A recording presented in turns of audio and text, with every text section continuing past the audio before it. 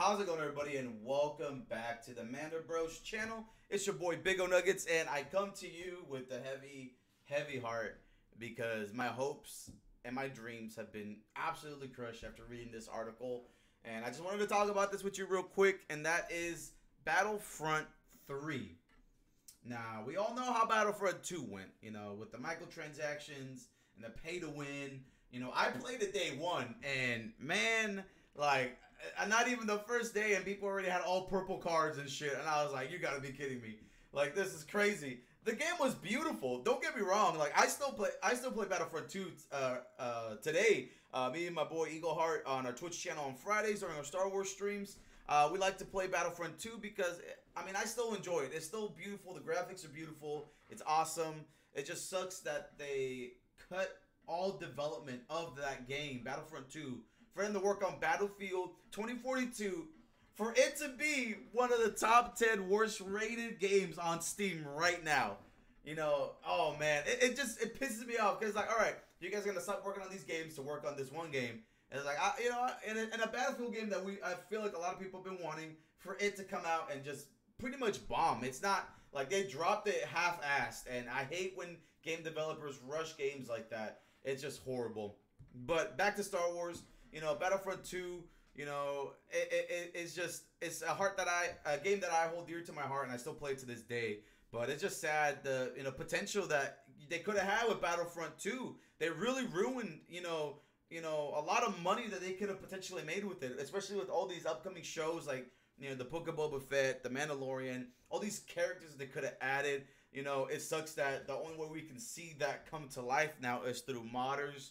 Um, and and it's funny that modders have created beautiful mods for Battlefront 2 that are honestly way better than a AAA studio like DICE. Like, have you guys seen like the Clone Wars, uh, the Clone Troopers, you know, outfits and certain different, you know, camos and you know and skins and stuff like that that look better than what EA uh, or DICE has dropped, and it's like, man. So only way you can really live that or play these all these upcoming characters is through mods. If you guys have any good mods, let me know. I'm trying to trying to run some mods, uh, and I want to try to play as Boba Fett or or Mando in Battlefront 2. But let's look at the article, guys. Pretty much that states uh, everything that you know we were talking about, and it says according to a noted insider, EA has rejected Dice's pitch for a third Star Wars Battlefront game, and decisions that reportedly came down to licensing costs. So this is Tom Henderson, November 19th you know, they tweeted this out.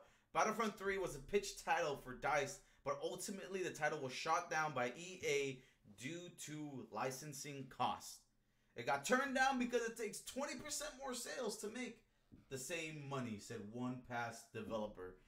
That I mean that that right there is just like ah man, this it sucks because I would have loved to see a Battlefront 3.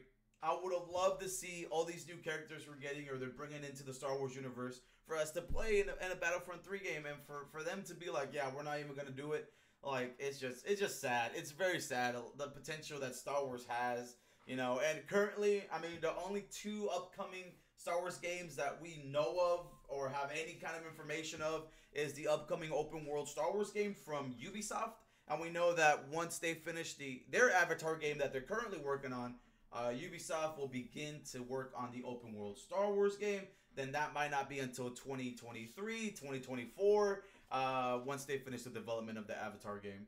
And again, the only other single player story driven game that we know of that has been pretty much uh, been a big you know rumor everybody's pretty much saying that we're going to get it it's still up in the air we're, we're not 100% sure but that's a sequel to star, uh, star wars jedi fallen order uh, there's been a lot of tweets from the star wars twitter page and all that stuff that's been hinting to an upcoming title, and there's supposed to be some kind of announcement in December regarding an upcoming video game. So with, I'm hoping that's pretty much Star Wars Jedi Fallen Order 2 because I love the first one, and it's great that they're coming back with single player games. You know, I feel like EA or Dice or whoever because now uh, Lucasfilm Games has been opening up. You know, you know the the franchise. You know, Star Wars for other developers to come in and make games hopefully someone else can come in and really give us, you know, a Battlefront 3 or like a multiplayer Star Wars game that really is going to make the fans and you know and people new to Star Wars come in and really enjoy it. So that's that's what I'm hoping for. Fingers crossed.